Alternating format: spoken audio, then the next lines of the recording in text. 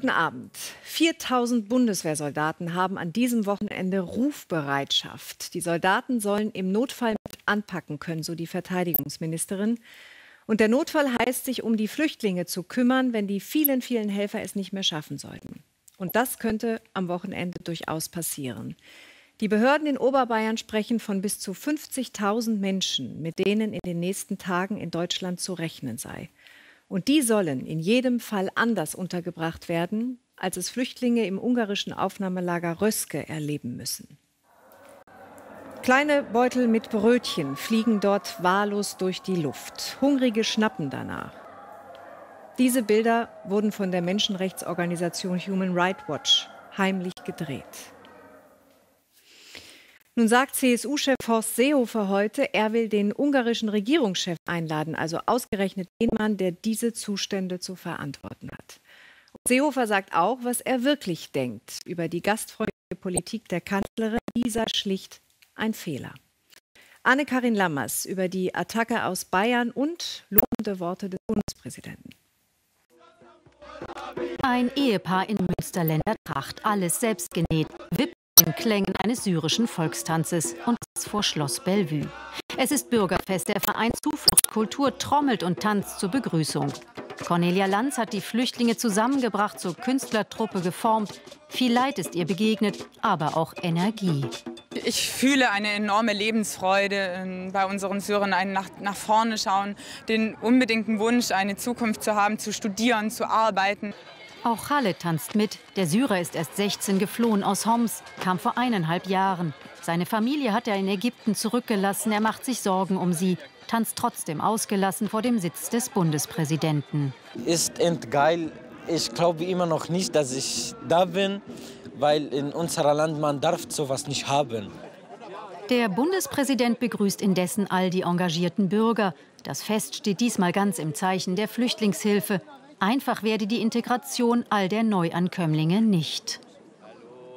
Es kommen hart, härtere Zeiten auf uns zu, aber wir fürchten uns nicht, sondern uns werden Lösungen einfallen. Tracht und Harmonie hier, doch Misstöne kommen aus Bayern. Horst Seehofer keilt gegen Berlin. Keinen Plan gäbe es dort.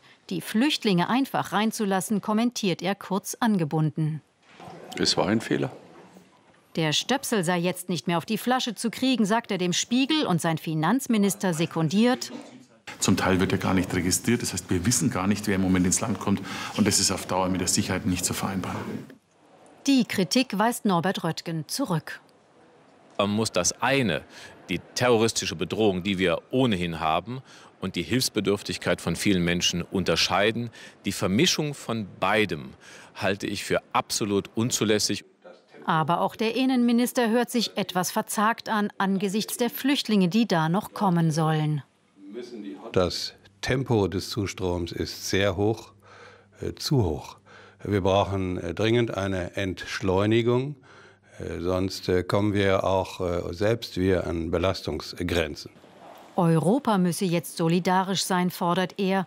Und die Länder? Sie fühlen sich übergangen und drängen angesichts der dramatischen Lage auf einen vorgezogenen Flüchtlingsgipfel.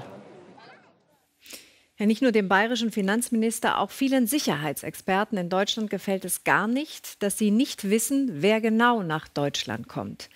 Denn tausende Flüchtlinge bewegen sich zurzeit unregistriert. Aber kann man sich ernsthaft vorstellen, dass IS-Kämpfer, die hier einen Anschlag verüben wollen, eine monatelange lebensgefährliche Flucht auf sich nehmen, wenn sie sich doch mit gefälschten Papieren ein Flugticket besorgen könnten? Ist es wirklich denkbar, dass sich Terroristen unter all die verzweifelten Menschen mischen, die doch vor dem Terror geflohen sind? Philipp Glitz über geschürte Ängste und echte Gefahren. Wer als Flüchtling in Europa ankommt, auf den wartet auch ein Verdacht. Gibt es Terroristen unter ihnen? Unwahrscheinlich, glauben Experten aus mehreren Gründen. Zum einen, weil diese Menschen gerade vor religiösen Konflikten geflohen sind, zum anderen, weil die Terroristen sich schnellere Wege nach Europa suchen würden. Und dennoch aus unserer Sicht ist es jedenfalls eine reale Möglichkeit, dass auch unter den Flüchtlingen IS-Kämpfer sein könnten oder Personen, die aus Syrien kommen und dort an schweren Straftaten äh, teilgenommen hatten. Die viel größere Gefahr jedoch geht von den sogenannten Rückkehrern aus. 730 Dschihadisten sind laut Sicherheitsbehörden bereits aus Deutschland ausgereist nach Syrien und in den Irak. Gut 200 sind wieder zurück in Deutschland. Viele Attentate, wie auch das geplante im Thales vor drei Wochen, werden von radikalisierten Rückkehrern ausgeführt. Auf der Fahrt von Amsterdam nach Paris konnte der mutmaßliche Attentäter niedergerungen werden. Doch könnten Flüchtlinge auch in Deutschland radikalisiert werden? Wenn sie in den Flüchtlingsheimen ankommen, wähnen sie sich in Sicherheit. Meist sind es junge Männer, einige auf der Suche nach Halt. Radikale, salafistische Prediger wie Pierre Vogel nutzen diese Hilfsbedürftigkeit aus. Öffentlich fordert er seine Anhänger auf, in die Unterkünfte mit Geschenken zu gehen. Wenn ihr in dem Flüchtlingsheim seid und ihr sagt dann, ja, es ist die Gebetszeit, komm, wir fangen an zu beten, dann, dann motiviert ihr sie automatisch auch mitzubeten. Einige Experten sehen in solchen Anwerbeversuchen der Salafisten eine ernstzunehmende Gefahr. Was man äh, sagen kann, ist, dass sie sich an ihrer Religion festhalten. Und genau das ist das äh, Muster, mit dem die Salafisten Menschen rekrutieren wollen. Der Verfassungsschutz bestätigt Anwerbeversuche am Münchner Hauptbahnhof in Hamburg und NRW. Die Mitarbeiter in den Unterkünften sollen jetzt schnell über die Strategie aufgeklärt werden. Das Bundesinnenministerium aber warnt davor, Flüchtlinge pauschal als Terroristen zu verdächtigen. Sie seien aus Angst und Furcht um ihr Leben geflohen.